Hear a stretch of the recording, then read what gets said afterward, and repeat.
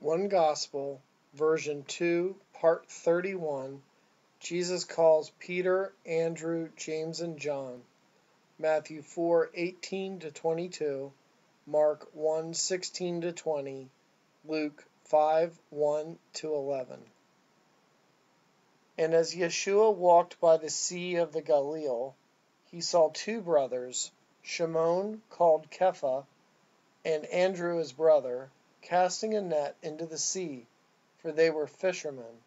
And it came to pass, as the multitude pressed on him to hear the word of God, that he stood by the lake of Kinneret, and he saw two boats standing by the lake.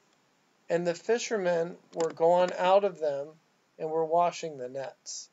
And he entered into one of the boats, which was Shimon's and he asked him to lead it back a little from the land.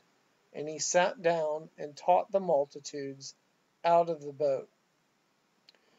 Now when he had stopped speaking, he said to Shimon, Launch out into the deep, and let down your nets for a catch.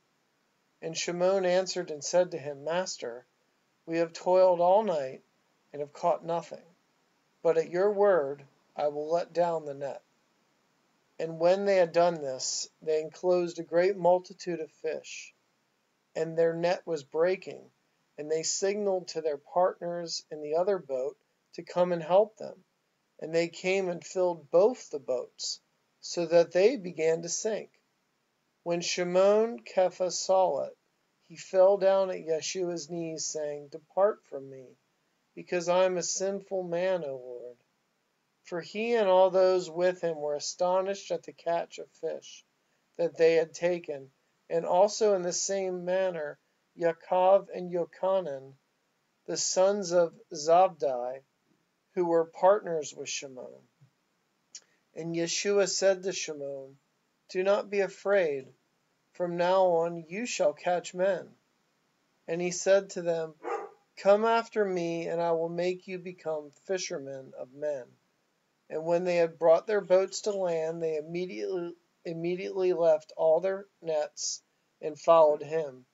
And when he had gone on a little from there, he saw two other brothers, Yaakov the son of Zabdi, and Yochanan his brother, who were also in the boat with Zabdi their father, mending their nets.